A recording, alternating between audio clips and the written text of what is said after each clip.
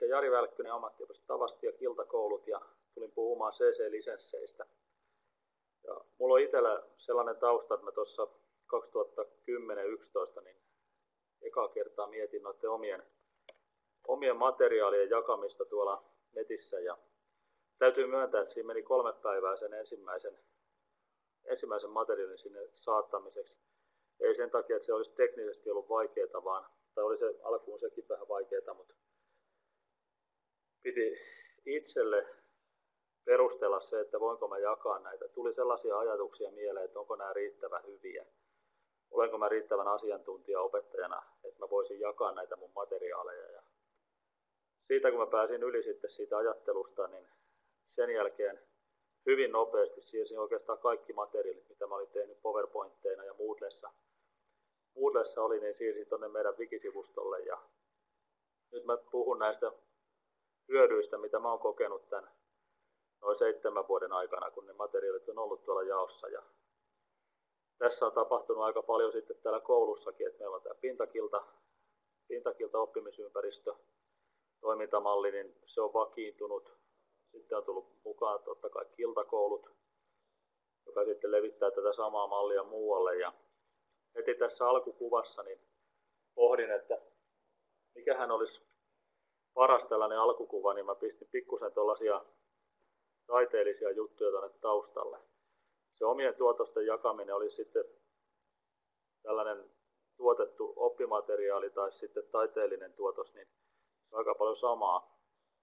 Pitää itse päättää, että mitä jakaa ja minkälaisin ehdoin. Ja tuossa hyvin nopeasti rupesin lisää noita lisenssejä noihin meidän tuotoksiin, että, tai omiin tuotoksiin, niin että siellä on to, toki muidenkin tekemiä juttuja.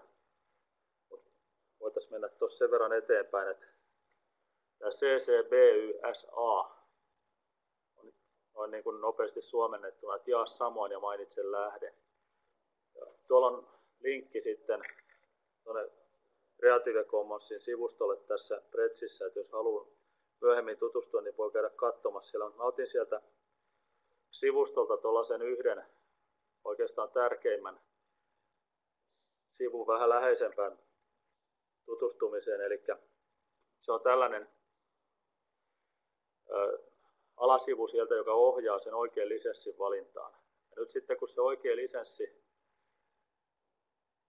mietitään, niin mikä siinä on, mikä siinä on niin tärkeää siinä lisenssin miettimisessä on tietenkin se, että tekijähän omistaa nämä tekijänoikeustiedot tästä tuotoksestaan ja mulla itsellä tuo BY, SA ja samoja mainitsen lähden, niin se toimii samalla meidän markkinointina. Eli kun on tällaisesta pintakäsittelyalan materiaalista kyse, millä opetetaan, niin ihmiset kun hakee tietoa, niin samalla näkee, että haa, tuolta pintakillan sivustolta löytyy vähän lisää tietoa ja joku saattaa jopa kiinnostua niin paljon, että tulee meille kouluun. Näin sen verran eteenpäin. Eli tämä on sellainen hyvä, hyvä tota kohta, jos harkitsee, että mitenköhän tämä homma menee, niin tuo creativecommons.fi-sivusto on sellainen, mistä löytyy tosi paljon tietoa ja suosittelen lukeen ennen, ennen kuin rupeaa jakamaan tuota tietoa. Mutta tästä hypätään sitten näihin hyötyihin. Mä en ole tarkoituksella laittanut tänne oikeastaan mitään negatiivista tässä. Tässä voidaan niitäkin asioita käydä vähän läpi, mutta miten tällainen yksittäinen opettaja hyötyy sen oman materiaalin julkaisemisesta? Se on oikeastaan se pääkysymys, että miten, miten mä itse hyödyn. No, mä oon itse hyötynyt siitä tosi paljon tuosta pintakillasta, että sitten on tullut mulle portfolio, digitaalinen jalanjälki, mitä voi nyt esitellä. Totta kai meidän opiskelijat hyötyy, ne löytyy ne materiaalit sieltä ja mä tein sellaisen päätöksen heti alkuun, että meillä oli alkuun wikisivusto, mistä, missä jaettiin tietoja, niin, niin tota, silloin kun siellä päivittyminen lopetettiin, tai se päivittäminen lopetettiin sen wikisivusta ja siirryttiin Viiply-aineistoon, Viiply-pankkiin, niin, aineistopankkiin, niin mä päätin, että jätetään se wikikin olemaan, koska osa ihmistä on saattanut linkittää jotain muita juttuja sinne meidän wikiin. Ja se oli itse asiassa oikea päätös, että vaikkei siellä ole paljon tapahtunut nyt viime aikoina, niin mä huomaan, että siellä on kuitenkin aina silloin tällöin kävijöitä. No, sitten tietenkin jos saa muutaman muunkin opettajan mukaan tähän hommaan, ettei tarvi yksin tehdä sitä, niin voidaan sopia työnjaosta työnjaosta keskenään, että kun lähdetään tekemään vaikka perustutkinnon kursseja, niin saadaan sitten kokonaisuutena nopeammin uutta materiaalia yhteisölliseen käyttöön. Iltakoulujen yksi perusperiaate on se, että me pistetään aineistot jakoon. Niiltä osin ne aineistot jakoon, kun ne vaan ei sisällä mitään liikesalaisuuksia. Kun ollaan teknisellä puolella töissä, niin saattaa olla, että jotkut aiheet on sellaisia, että ne on jonkun yrityksen omaisuutta, että se pitää selvittää myöskin. Eli tuossa vaiheessa, kun sitä lisenssiä rupeaa miettimään, niin selvittää senkin, että saanko minä jakaa tämän aineiston. Ja kyllä siinä edelleen tuo markkinointi, mutta tähän saanko jakaa aineiston ja mikä on minun omaa tuotosta, niin olen muutaman kerran törmännyt sellaiseen, että opettaja on esimerkiksi kopioinut jostain suoraan kopioimalla mappeihin tavaraa ja sanoo, että tämä on hänen oma aineistoa. Niin kyllä se oma aineisto on se itse tuotettu, itse kirjoitettu ja hirvittävän tärkeää kaikessa materiaalissa niin mainita se myöskin se lähde, että jos se lähde on tiedossa. Puhutaan näistä ammateista, mitä koulutetaan, niin hyvin harva ammatti on sellainen, että me keksitään ihan itse uutta, kokonaan uutta asiaa siihen. Ja näin ollen, niin kuitenkin se julkaistu materiaali saattaa olla jo yhteisöllisesti tehty aikaisemmin jossakin, niin se kanssa puoltaa näiden CC-lisenssien käyttöä mielestäni, että jos jotain tekee, niin saadaan se sitten muille, muillekin se oma näkö, näkökulma ja näkemys. No, sitten kun mietitään sitä ihan alkua siinä, että ollaan nyt tehty se päätös, että joo, nämä mun matskut on sellaiset, että voin jakaa niitä ja voin alkaa, alkaa niitä ehkä yhteisöllisesti tekemään, korjaamaan, tuottamaan, niin miten se aloitetaan? Ensimmäinen tehtävä on miettiä se formaatti, missä ne on ne PowerPointteja, ne Word-tiedostoja, kopioita jostakin, kalvoja, mitä, mitä kullakin on niitä materiaaleja ja siitä sitten ruvetaan miettimään, että miten saadaan helpoiten siirrettävää, muokattavaa muotoa. Mulla lukee tuolla siirrettävää muotoa, mutta se on myöskin muokattava muoto. Eli, eli itse omat aineistoni aikanaan, kun laitoin, laitoin tuonne nettiin, niin kyllä siinä meni melkein koko kesä, kesä silloin tällöin tehdään, kun PowerPointit muokattiin tuonne Wikisivustolle sopivaksi. Ja tässä sitten kun sitä pilvipalvelua valitaan, niin mä suosittelen valitsemaan sellaisen, mikä on itselle kohtuullisen helppo ja matala kynnys aloittaa se käyttö. Ja totta kai pitää ottaa huomioon, että onko se ala, oma ala sellainen, että käytetäänkö siellä jotain tietynlaista formaattia, tyyliä, siirtää sitä tietoa, että suosittelen siinäkin miettiin, miettiin ensin omalta kohdalta, sitten sen jälkeen alakohtaisesti ja totta kai se vielä siihen, että mitä, mitä muut opettajat, jos siihen saa niitä muita opettajia mukaan, niin mitä mieltä he on. Ja tässä tulee sitten se oma lisenssi, että miten soveltuu oman alan näkemykseen parhaiten, että, tai omaan näkemykseen. Että mulla itsellä oli aika selkeä valinta tuo PYSA, koska mä katsoin, että jaa samoin mainitsen lähde, niin ihmiset, jotka kiinnostuu aiheesta, niin ne kyllä tulee sinne alkulähteelle varmaan aika helpostikin. Helpostikin sitten katsomaan, että mistä tämä tieto on kotoisin.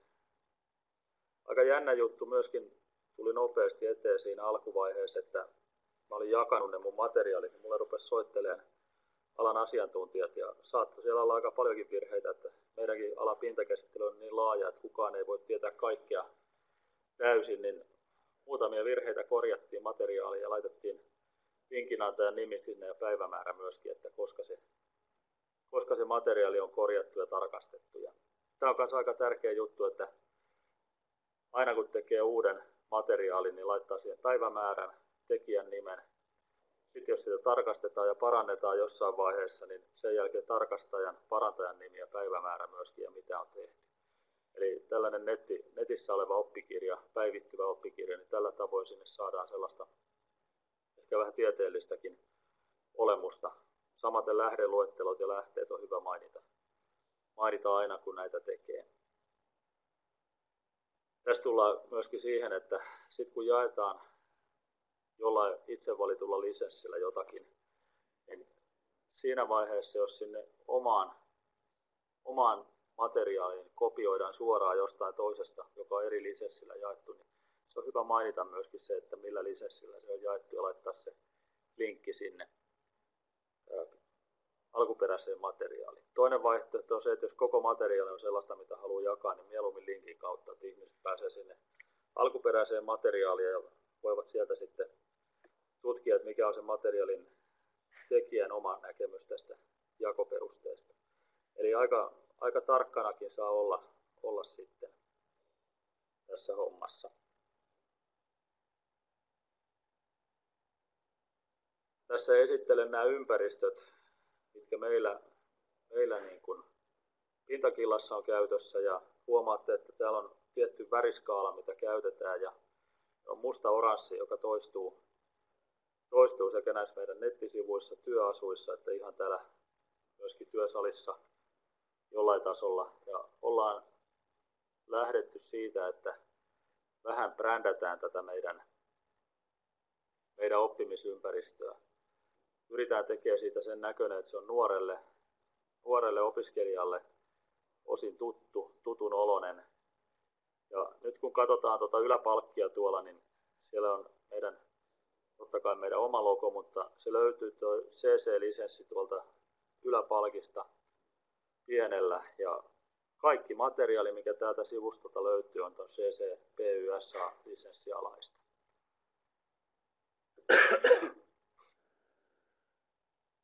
aikaisempi sivusto Wikispaces, niin siellä ei ollut noin selkeästi tota lisenssiä vielä ilmastu, eli tämä on 2013, kun muistaakseni 2013 lopetettiin tämän päivittäminen tämän tota, Wikispaces-sivuston ja siirryttiin tonne kokonaan tonne Biiblyyn. Se on hyvä ilmoittaa myöskin, jos siinä tapahtuu muutoksia siinä omassa materiaalissa tai se päivittymisessä, niin tästä näkee heti suoraan, että etusivulla lukee, että sivusto muuttaa ja uusi osoite on pintakilta.bibli.com. Ja kuitenkin nämä vanhat linkitykset ei olemaan, että sivu ei poisteta. Nyt sitten uutena tai uudempana ajatuksena on näiden videoklippien tekoja. Tässä onkin mielenkiintoinen lisenssin kannalta, että nyt kun mennään työ, työsaliin, oppilaitoksen työsaliin ja siellä kuvataan, niin meillä, meillä on ammattiopisto Tavastiassa tehty sellainen päätös, että jokainen opiskelija, joka opiskelee tässä Intakilta salissa, niin he pyydetään lupa tuohon kuvaamiseen kirjallisesti tai heidän vanhemmiltaan. Ja se on oikeastaan ainoa tapa, tapa, millä voidaan näin yleisesti, niin kuin meilläkin kuvataan ihan noita työtehtäviä tuolla työsalin puolella, niin siellä on vanhempien kautta opiskelijoiden oma lupa käyttää niitä heistä otettuja videoklippejä, plus sitten niitä voi käyttää myöskin koulun markkinoinnissa. Ja tähän markkinoinnin ja tällaisen informatiivisen materiaalin rajahan on hyvin häilyvä nyt, että periaatteessa kaikki on samalla markkinointia, kun ihmiset niistä opiskelee jotakin. Videoklippeissä meillä ei käytetä musiikkia muuta kuin sellaista valmiiksi lisenssit maksettua musiikkia, mikä on esimerkiksi iTunesilla. iTunesista löytyy suoraan, mutta kaikki muu, muu ääni, mikä siellä on, niin se on itse tuotettua tai, tai sitten se on pelkkää sitä työn ääntä. Että ollaan tällainen rajaus tehty, että ei edes lähdetä kokeilemaan noiden äänitiedostojen kanssa, että saako niitä käyttää vai ei. Tosin netistä löytyy paljon sitten aineistopankkeja, mistä niitä voisi ottaa hyödyntää itse, itsenäisesti näitä, näitä musiikkitiedostojakin. Tuossa tämä videoklippi-homma on meillä tullut nyt parin vuoden sisään.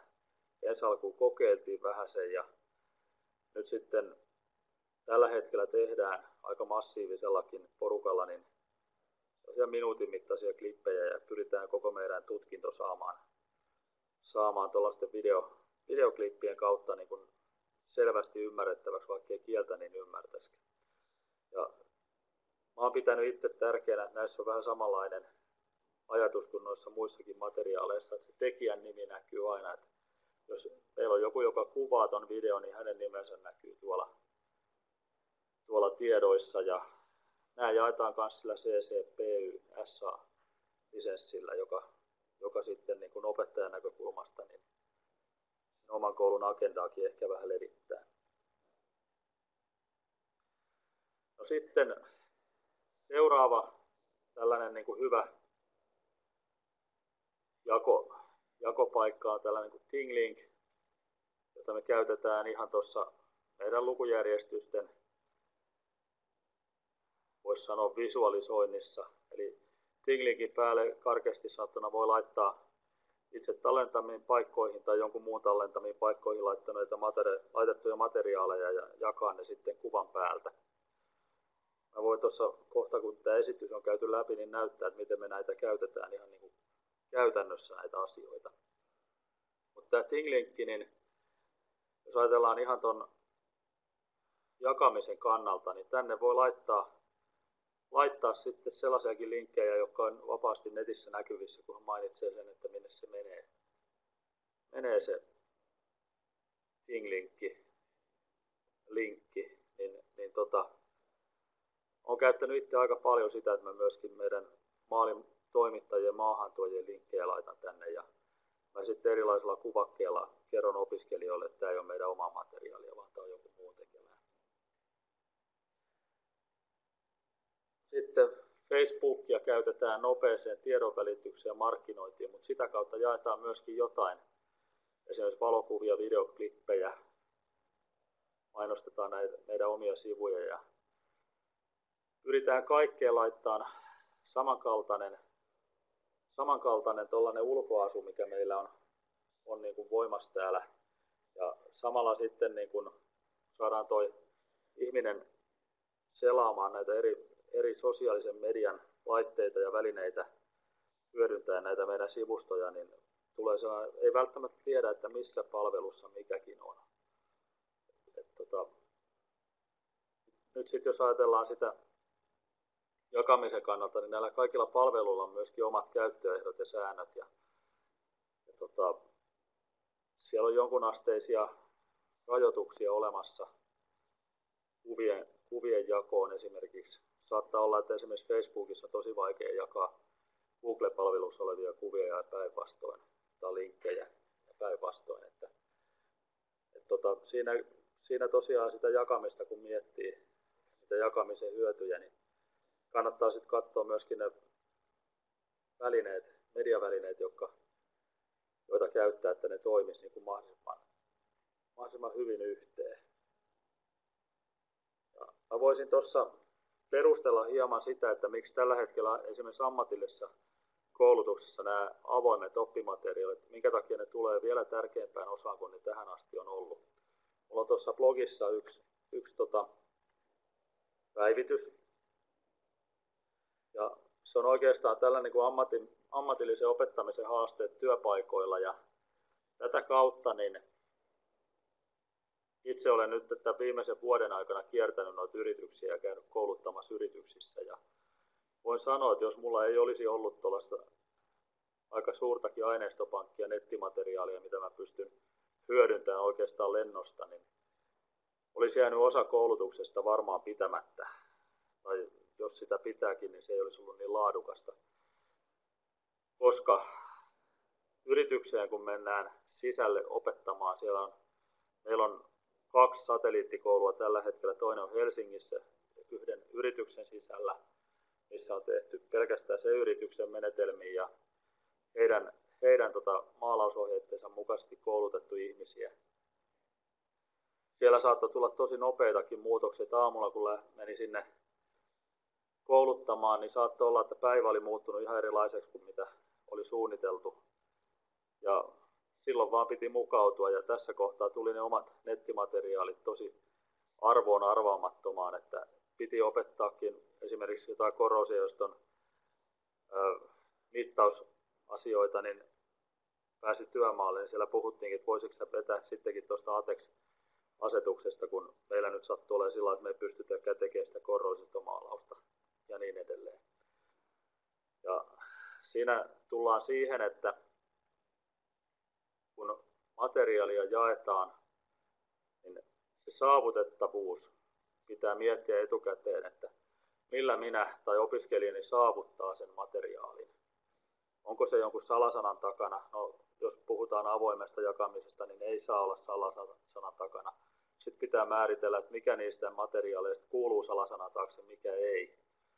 Ja sitten vielä tuossa kun yrityksessä koulutetaan, niin pitäisi olla aika lailla selvillä noista opetussuunnitelmista ja ammattitaitovaatimusten sovittamisesta yrityksen tarpeisiin ja sitten sen tutkinnon suorittajan tarpeisiin. Ja tämä on niin, kuin nyt sitten sellainen, mikä vaatii tuekseen nämä riittävän laajat, riittävän, sanotaanko pieniinkin osiin, osiin ositetut materiaalit. Ja siellä on monen näköistä ajatusta löytyy niin kuin täältäkin. Mutta kaikki, kaikki loppujen lopuksi kuitenkin kulminoituu tähän, että meillä on materiaalit, mitä voidaan käyttää, mitkä on joustavat, otettavissa erilaisissa tilanteissa käyttöön. Ja sitten se, että kun ne on avoimesti tuolla verkossa, väittäisin, että se parantaa näiden meidän materiaalien laatua, koska tota, muutkin voivat ottaa niihin kantaa. Ja tässä kun tullaan sitten tähän materiaalin, mietitään sitä materiaalia, että kuinka, mistä aloitan, mikä on se materiaali, mitä kannattaa ensimmäisenä ottaa, niin mä tein ihan tällaisen, itse asiassa vasta, vasta tuosta vuosi sitten tein tällaisen, että mä kartotin ne omat materiaalit, kartotin myöskin meidän alan tutkinnon osat ja tutkin, tutkinnon osan osat, että minkälaisia ammattitaitovaatimuksia siellä työmaalla tarvitaan ja miten ne ammattitaitovaatimukset jakautuu sitten eri tutkintojen osiin.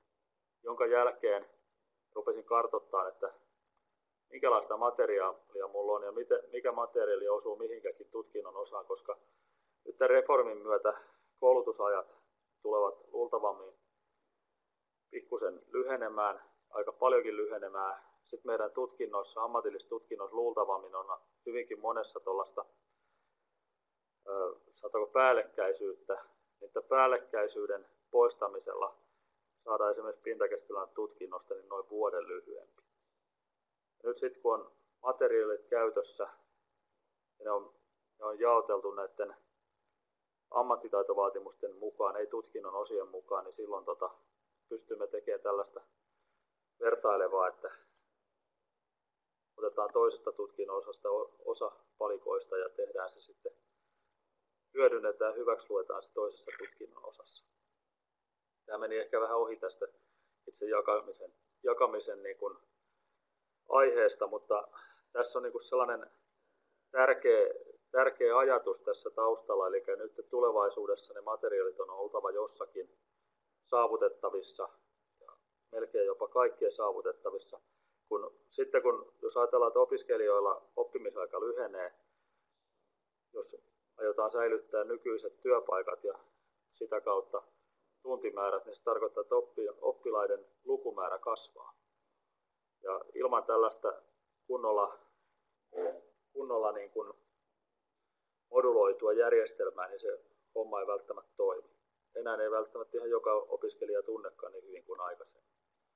Menen vielä tänne meidän nettisivuille ja mä näytän täältä muutaman asian. Eli täällä on tällainen uutis, uutisosio, mistä näkee, että mitä, minkälaisia asioita täällä on viimeksi ollut. Mutta täällä on myös eri ryhmille. Edelleenkin meillä on ryhmiä, vaikka yhden ryhmän sisällä saattaa olla neljä ja viittä erilaista tutkintoa. Niin täältä löytyy tällaiset omat sivut, mistä voi seurata sen oman opiskelijaryhmän toimia, ketkä siellä opettaa ja miten. Ja tämä on tämän materiaalin suhteen kanssa aika tärkeää, että löytyisi sellainen paikka, mistä se opiskelija löytää ne materiaalit helposti. Tässä on esimerkiksi tämä meidän viime jakso kokonaan niin kuin avattuna täällä suoraan netissä. Tämä on kaikkien saavutettavissa, eli kuka vaan voi käydä katsoa, mitä meillä on opetettu ja miten se opetus on toteutettu. Täällä löytyy Tinglin kuvat noiden päälle hiiren laittamalla tai sitten mobiilissakin tämä toimii, että täppää tuota kuvaa, niin sieltä tulee esille tällaisia pienempiä kuvakkeita, jotka ovat oikeastaan linkkiluettelo tai sitten siellä on tällaisia tehtävän kuvauksia, että mitä pitää tehdä. Opiskelijat tekevät digitaalista oppimispäiväkirjaa, jonne, jonne he sitten samalla tekee tehtäviä. Tämä, tällainen mutterin kuva tarkoittaa, tai rattaan kuva sitä, että mitä työsalissa tehdään.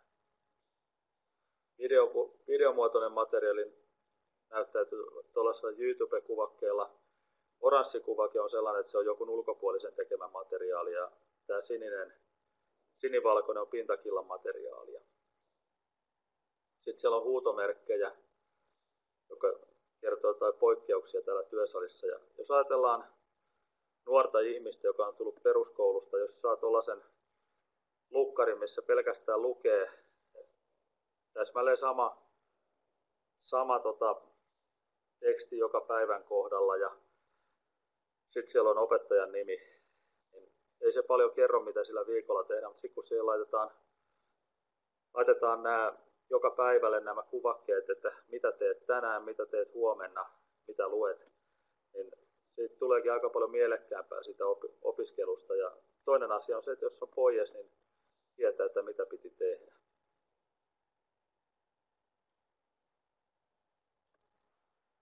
Eli tämän näköistä on, tällä lailla se näyttäytyy opiskelijalle näiden materiaalien jako, jako lisenssillä, CC-lisenssien ala, alaisena, että, että tota, opiskelijat, mä väittäisin, että opiskelijat tykkää tästä mallista. Täältä löytyy myöskin sitten näiden opiskelijoiden reflektointia. Eli, eli meillä nyt uusin luokka tekikin Instagram-tilit ja tässä opiskelijan Instagram-tili, niin se on hänen oma tilinsä. Se ei ole millään tavalla koulun omaisuutta. Ja tässä on tämä datan omistajuus, eli, eli se opiskelija saa mukaansa koulusta tämän portfolion, minkä hän on tehnyt. Ja otetaan tuosta auki joku meidän ykkösen, ykkösen portfolio. Ja tässä niin kuin ollaan keskusteltu paljon siitä, että onko tämä riittävän, onko täällä riittävästi mahdollista tehdä tällaista kirjallista materiaalia tänne Instagramiin. Ja nähän jaetaan Instagramin omien sääntöjen mukaan nämä kuvat, mutta tässä on sellainen hyvä puoli, että tänne pystyy myöskin tekemään tällaisia kuvia sitten ensinnäkin kuvan käsittelyllä jotain, tuossa oli äsken punaisia täpliä, niin opiskelija oli tehnyt siihen tehtävän, eli missä oli virheitä ja tässä on sitten tehty tehtäviä, otettu niistä valokuvia, eli opiskelija pystyy tästä sitten töitä lähtiessään hakemaan. Esimerkiksi, niin täältä valitsee ne päivitykset, mikä hän haluaa näyttää tulevalle työnantajalle. Ja jos ajatellaan, että koulussa tulee joka viikko tulee kolmesta viiteen tällaista kuvaa, missä on jotain selvitystä siitä, että mitä on tehty, niin kyllähän tämä aika läpinäkyväksi tuo tämän opinnotkin. Ja tämä on myöskin opettajalle sellainen aika hyvä paikka, että täältä pystyy oikeasti seuraamaan melkein reaali, reaaliajassa, että miten nämä nuoret on selviytyneet tästä tehtävistä. Täällä on vähän eri tasolla. Äskeisessä oli aika paljon tuosta PMVstä pari-kolme kuvaa ja täällä on vain yksi kuva. Ja eri opiskelijat tekee pikkusen eri tavalla nämä. Siellä on sitten, kun on opis, opettaja käynyt tykkäämässä, tarkoittaa, että tämä riitti tästä tehtävästä. Homma ok. Ja kyllä näille opiskelijoille on myöskin tästä jakamisesta kerrottu, kerrottu ja käydään sellainen netiketti tavallaan läpi ennen kuin lähdetään näitä digitaalisia oppimispäiväkirjoja tekemään. Että nämä ei ole missään, kun nämä ei ole missään koulun järjestelmässä eikä salasanan takana, niin tässä pääsee oikeasti harjoittelemaan tällaisilla, voisi sanoa, nämä on itse keksinyt itselleen vähän tällaiset lempinimet, että eivät omalla nimellään jaa näitä välttämättä kaikkea, niin, niin pääsee harjoittelemaan sitä, että miten, miten sitä omaa materiaalia omistaa ja jakaa sitten tulevaisuudessa. Hyvä. Olisiko teillä kysyttävää tai toivomuksia sen suhteen, että mitä tässä vielä käytäisiin läpi aiheesta? Kiitos Jari. Tuleeko sieltä linjoilta? Meillä on ainakin Ari siellä linjoilla. Tuleeko kysymyksiä tai kommentteja Annelta ja Kaisalta myös? Mä voisin tässä nyt ensimmäisenä sanoa tuosta systemaattisuudesta, joka tuli tässä sun esityksessä yhtä lailla kuin Matleenan esityksessä. Hirmuisen hyvä, hyvin esille, että vaikka säkin olet käyttänyt useita eri paikkoja ja sitten te olette tehneet myöskin opiskelijoiden kanssa useissa eri paikoissa, niin silti sulla on ollut siinä niin kuin kaiken aikaa myöskin sitä semmoista koontia, että on, on nämä tunnistesanat, niin kuin vaikka pintakilta, ja, ja yksistään jo yksi sana on sellainen, että kun sä laitat Google-hakuun, niin saatkin sillä Google-haulla ää, niin, niin tavoitettua sitten sitä aineistoa ihan hirveän hyvin. Oletko itse miettinyt tätä näkökulmaa?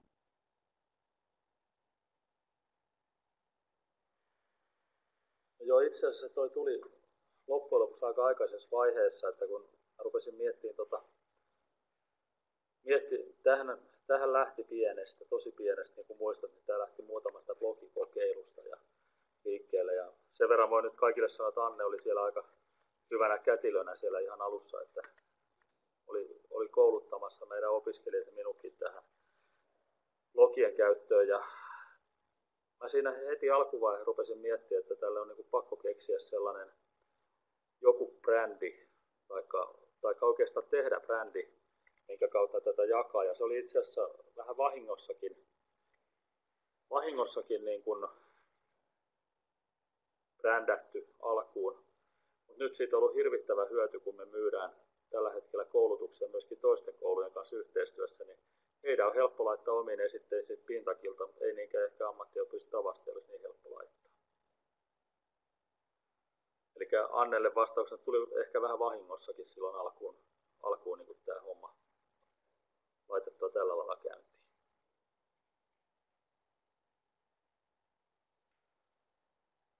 Ja Arille, Ari kysyy, että meni ohi, niin nauhoitettu tulee, tulee ilmeisesti joo. jonnekin. Ja sitten ne tulee tuolle Jaa jotain blogiin myöskin on linkitetty nämä, ja, ja siellä on muutkin aineistot, että et, tota, uh, niin löytyy ihan vaan kun laittaa, että jaa jotain. Tämä on myöskin esimerkki siitä, siis toi Karja Hintikka keksi viisi vuotta takaperin tämän tunnisteen jaa jotain, kun oli tämmöinen Open Education Week, ja, ja silloin tempastiin. Tämä on tullut monta kertaa koettua itsekin, että, että Google hirmuisen he, hyvin löytää aineistoja silloin, kun se sana, jolla niitä haetaan, on jollakin lailla ainutlaatuinen, ettei sinne tule ihan hirvittävät määrät jotain tiettyä. Ja toisaalta sitten taas vinkkinä, että jos joku opettajakin haluaa laittaa aineistoja nettiin, mutta ei ehkä niin kuin halua kauheasti näkyvyyttä, niin sitten, sitten tota, joku Matti Virtanen ja, ja tota, tämmöinen niin hyvin, hyvin niin kuin, ää, sinne muuhun nettiaineistoon sulautuva nimi, niin, niin tota, se myöskin sitten vaikuttaa sen, että ei sieltä nousekaan niin helposti. Et itsellä kun on vähän harvinaisempi sukunimi, niin, niin tota, mulla on yksi nimikaima koko Suomen maassa olemassa, niin ihan omalla nimelläkin löytyy helposti aineistoa.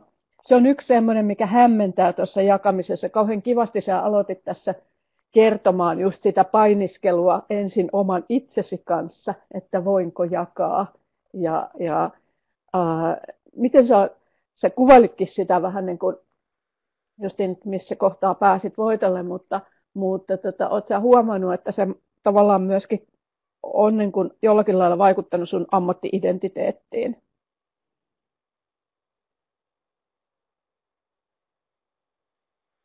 Joo, itse asiassa on se vaikuttanut se alkuun, niin silloin ennen, ennen kuin meillä oli näitä nettisysteemeitä ollenkaan käytössä, niin se oma ammatti-identiteetti oli huomattavasti suppeempi nyt jälkikäteen ajatellen. Ja koostui sellaista niin kuin rajatummasta alueesta. Nyt mä oon huomannut, että kun mulla on aika laaja verkosto tullut tässä sitten näiden jakamisten kautta, plus sitten ihmisiä tulee meille oikeasti näiden pintakilasivujen tutustumisen jälkeen, niin ne saattaa tulla ihan oikeasti meille opiskelemaan, niin se on niin kuin laajentanut mun omaakin näkemystä koko tästä ammatista. Ja yllättävä, yllättävästi tuonut myöskin sen näkyväksi, että tällainen oppimaan oppiminen ja tämän, tämän tota, digita, digitaalisuuden oikeanlainen käyttö, niin se on myöskin ihan, voisi sanoa melkein yhtä tärkeää kuin tuo kädentaidot tässä meidänkin ammatissa, että pitää osata sitä omaa, omaa osaamista tuoda esille ja toisaalta osata dokumentoida sitä omaa osaamista. Tuli aika mielenkiintoinen asia tässä vielä mieleen tästä kysymyksestä, että meillä on nyt itse asiassa tämän vuoden puolella tullut kahdesta eri koulusta kysely, että hei, että meillä on tällainen ja tällainen tekniikka, mitä meillä ei osaa kukaan täällä tehdä tai ei ole koskaan tehty. Että teoriassa tiedetään, tie, katsottiin teidän sivuilta, että te olette tehneet, mutta onko teillä materiaalia tähän? Vastasin sitten ensimmäisenä, että ei ole materiaalia, mutta voitaisiin tehdä tällainen periskopen kautta, eli tällaisen nettiaplikaation kautta. Eli siinä niin kuin lähetetään live-kuvaa wifi-verkon kautta ja sitä voi katsoa kuka tahansa, niin siellä me ollaan laitettu Pintakilta TV sellaiseksi niin kuin hashtagiksi, että sen kautta löytyy meidän kaikki, kaikki tota periskoopet ja me ollaan sitten tallennettu osa niistä vielä tuonne Pintakillan sivuille nimellä Pintakilta TV ja myöskin YouTubeen nyt sitten viime aikoina ruvettu tallentaa niitä. Niin me tehtiin sen kolmen videoinnin sessio, että ihan normaali oppitunti täällä Tavastias Hämeenlinnassa. Se meni Joensuuhun kouluun ja Joensuun koulusta tuli palautetta, jonka mukaan sitten seuraava oppitunti huomattiin, että periskopi ei toiminut siellä toisessa koulussa, kun niiden wifi oli sen verran, sen verran tota, kuormittunut ja siirryttiin youtube captureen ja he sitten katsoivat sen sen jälkeen, kun me oli täällä nauhoitettu ja antoi palautetta sitten Facebookin kautta. Samaten toinen koulu eri toisella paikkakunnalla ihan vastaavasti. Ja ollaan nyt vähän ruvettu miettimään sitä, että me ruvettaisiin tällaisia vähän webinaarin tyyppisiä lähetyksiä laittaa YouTuben kautta. Silloin tällöin aina meidän oman lukusuunnitelman mukaisesti. Tällainen niin kuin uusi idea tuli tästä jakamisesta, joka on oikeastaan vähän reaaliaikaista. Jos äsken puhuttiin Kaisan kanssa näistä niin sanotuista tulevaisuuden taidoista, jotka nyt oikeastaan on niin kuin tämän päivän työelämätaitoja jo olemassaankin, niin toi teidän esimerkki on äärimmäisen hyvä, kun ajattelee, että mitä ää, niin tämmöisiä ää, sisä, sisällön lisäksi, mitä taitoja ne opiskelijat oppii, kun te muutatte työn, työtavan tuollaiseksi. Et, et vaikka niin kun voidaan ajatella, että oppilaitokset kilpailee opiskelijoista keskenään. No te olette, olette Hämeessä ja joku itäsuomalainen ää, niin, niin tota ammattioppilaitos ei ehkä ihan, ihan samoista opiskelijoista kilpaile. Ja ihan sama sitten Suomessakin, niin, niin tota pienet yritykset, jos ne pystyisi keskenään yhdistämään jotain osaa niiden uh, erityisosaamisesta ihan samalla tavalla niin kuin ihmiset keskenään, miten me selvitään tulevaisuuden haasteista, niin, niin yksi iso uh, juttu on justiin se, että kun kaikki ei osaa samaa asiaa, vaan pystyy yhdistämään sitä erilaista osaamista hyvällä tavalla.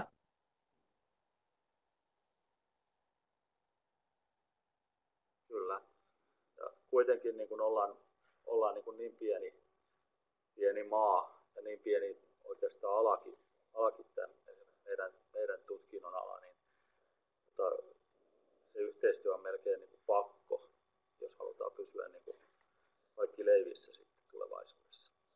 Tuo, tuo vienti, esimerkiksi nyt tällä hetkellä vientiteollisuus, niin siellä tarvittaisiin tietynlaisia osaajia ja saattaa olla, että meillä on täällä jotain osaamista, täällä Hämeenlinnassa, Turussa on jotakin ja taas sitten sieltä Seinäjoelta tai Joensuusta löytyy jotakin, niin kyllä meidän vaan pitää puhaltaa yhteen hiileen ja tehdä yhdessä näitä hommia. Niin koulussa kuin näiden yritysten. Ja, ja tästä tulee sellainen asia, mikä on tässä niin kuin avoimen opettamisen viikollakin pulpahtanut niin joka päivä näissä webinaareissa ja mihin nyt tuo Kotek-hankekin pyrkii. Että et, tota, me voidaan yhtä aikaa pitää tietyllä tavalla niin kuin omassa hallussa sitä sisältöä, mitä tuotetaan ja, ja sitä oman työn tuloksia ja jälkiä, mutta sitten toisaalta taas voidaan hyödyntää myöskin esimerkiksi, niin kuin sä toit esille, sitä markkina-arvoa, taikka sitten luoda hyviä yhteistyösuhteita, verkostosuhteita, oppia työn kautta. Et, et niin kuin avoin jakaminen ei siinä mielessä ole pois jostakin, että okei, joku, joku jossakin voi hyödyntää sun tekemiä aineistoja ja opettaa niillä, eikä sitten näe sitä vaivaa.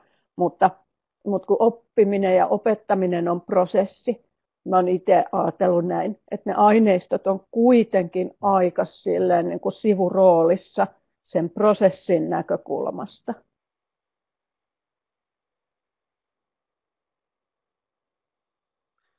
Ja sitten pitää aina muistaa, että se aineisto itsessään, niin jos puhutaan kädentaitojenkin opettamista, se tukee sitä opettamista. Että kyllä, kyllä mun on sanottava, että meidän aineisto toimii niin kuin markkinointimateriaalina, että joku kiinnostuu niistä, niin kyllä sitten hakeutuu kouluunkin, kouluunkin, jos kiinnostuu tarpeeksi ja haluaa oppia. Tästä,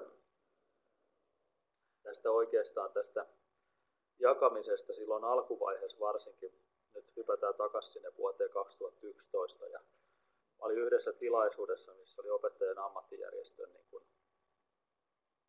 henkilöitä. Oikeastaan se oli OAJ järjestämä se tilaisuus, pyysi mut puhumaan sinne ja olin aika tosiaan niin kuin ehkä kuukauden kaksi jakanut niitä materiaaleja netissä ja siellä sitten tyrmätti aika isolla joukolla se, että eihän tuossa mitään järkeä, että nyt sä syöt niin kuin omaa työpaikkaasi pois ja, ja tota, toi vie niin kuin muiltakin leivän suusta suunnilleen ja, ja tuli aika kova tyrmäys ja mä sitten perustelin siellä, että ei se, kun ei se ole multa pois, että päinvastoin, että silloin Valtseri Hannu Tampereella toimitti työparina hänen kanssa, vaikka hän oli Tampereen koulussa, mä olin täällä Tavastiassa. Niin, tota, yritin sitten perustella, että me ollaan Hannun kanssa saatu paljon nopeammin tietyt asiat niin kuin toisillemmekin jaettua, jaettua sen netin välityksellä. Ja se oli oike, oikeasti täystyrmäys, mutta sitten yllättävintä oli, että se OAJ-lakinainen, joka oli eniten äänessä ja tyrmä, niin hän tuli sitten ovelle kättelemään ja sanoi, että joo, että tosi hienoa työtä teet, mutta ei hän voi julkisesti olla tuota samaa mieltä, mitä hän on yksityishenkilönä. Ja nyt jos ajatellaan sitä työnkuvaa silloin ja nyt, kyllä se täytyy sanoa, että meillä niin kuin ei ainakaan työt on vähentynyt tai vastoin tunnit on lisääntyneet. Silloin meitä oli kolme henkilöä töissä, niin tällä hetkellä meitä on viisi henkilöä töissä tässä meidän tiimissä. Että päinvastoin tämä jakaminen, tällainen aineiston jakaminen oikealla tavalla ja sen markkina-arvon hyödyntäminen, niin se tuo enemmänkin töitä. Tässä näkyy hirveän selvästi justiin se, että eletään semmoista murroksen aikaa, että, että meidän niin kuin vanhat toimintamallit ja ihan niin kuin lainsäädäntökin, niin ne hitaasti sopeutuu ja sitten niin, niin tota, tavallaan niin kuin se, että missä kehyksessä, viitekehyksessä kukakin tulkitsee niitä asioita ja minkä perspektiivin antaa niille, niin, niin tota, se vaihtelee ja välttämättä ei sitten puhutakaan samasta asiasta. Ja toisaalta sitten niin kuin, ää, niin, niin tietynlainen hitauskin muutoksissa on aina viisautta, että et jotkut asiat voi kaikessa hypessä mennä aina vähän överiksi. Että se on ihan hyvä, että on tämmöistä, kohtaa tätä ristiriitaisuutta ja, ja niin sitä muutosvastarintaa. Se pitää myöskin hyvin hyvällä lailla hereillä.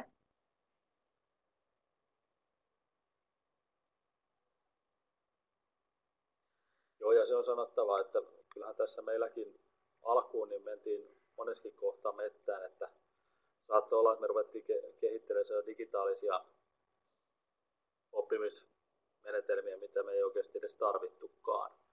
Et huomattiin, että kyllä ne vanhat, vanhat menetelmät toimi paremmin. Et sehän on tässä no, jakamisessa, avoimessa jakamisessa, digitalisaatiossa, kaikessa, niin ehkä ongelmallista, että ihmiset on mustavalkoisia, että ne luulee, että kaikki tapahtuu sitten siellä netissä digitaalisesti.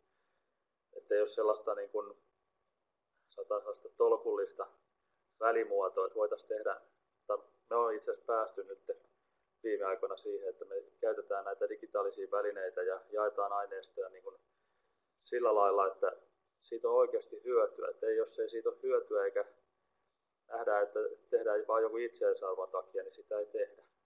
Vaan käytetään nämä, lisä, nämä meidän materiaalit, mitkä on netissä, plus nämä välineet, niin nämä on oikeastaan vain lisätyökaluja opettajalle sen opin, opin siirtämiseen tai saatat sen op, oppimistyön onnistumiseen, mikä oikeasti sen oppimisen tekee opiskelija eikä opettaja.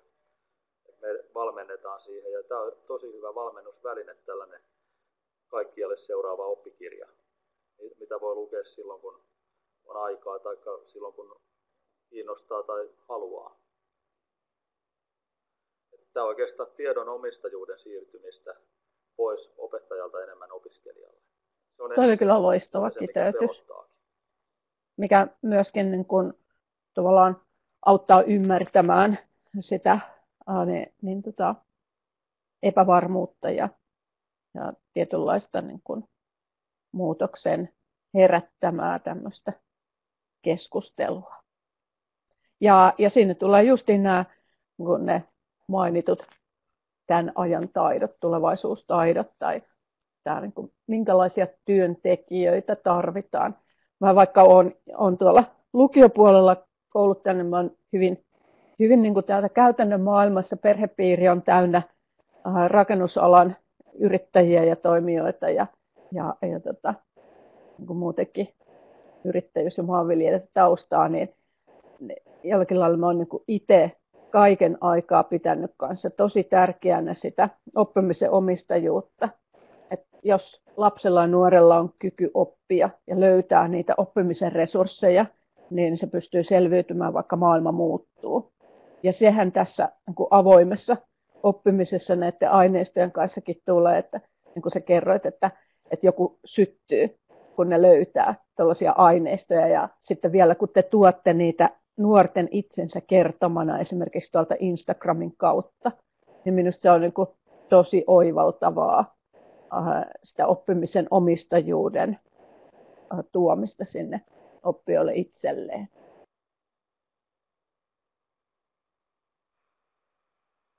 Se on oikeastaan myöskin heille tavallaan sellaista, niin kuin, sitä kehittyy se ammatillinen identiteetti ja pääsee näyttämään myöskin muille, että hei, tämä on minun ammatti-identiteettini ja se kehittyy oikeasti niille, jotka tuota Instaa tai blogia päivittää paljon, niin kehittyy yllättävän paljon nopeammin.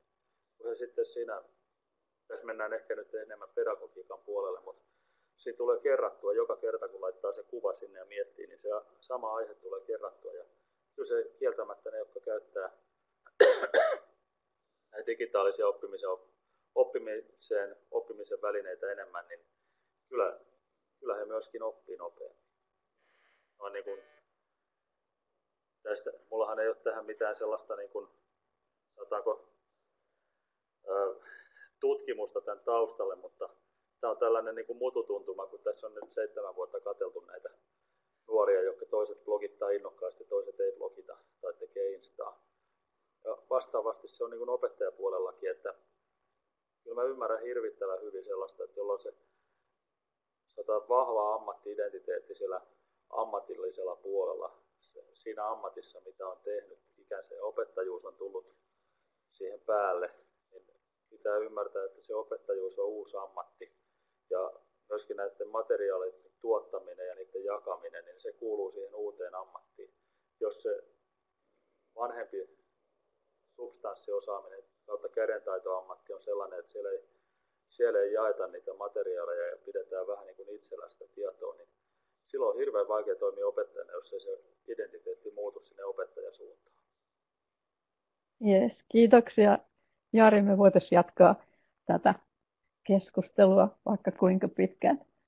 En tiedä, jaksaako kukaan katsoa tätä tallennetta tähän asti, mutta, mutta hirmuisen kyllä, kyllä. hienosti tuli tuohon ensimmäiseen puoleen tuntiin niin tiivistettyä sun monivuotinen kokemus aihepiiristä ja, ja siitä, että mitä hyötyä ihan oikeasti tuosta Creative Commons-lisensseillä jakamisesta ammatillisen koulutuksen opettajalle ja myöskin sun taustaorganisaatiolle, oppilaitokselle ja, ja ylipäätään niin kuin ammattikoulutukselle on.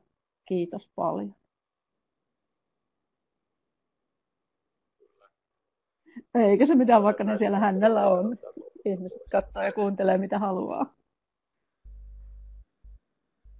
Kiitos Jari ja kiitos Anne. Säilytetään ehdottomasti hyvä keskustelu tallenteen lopussa. Mä nappasen tallenteen nyt täältä pois päältä.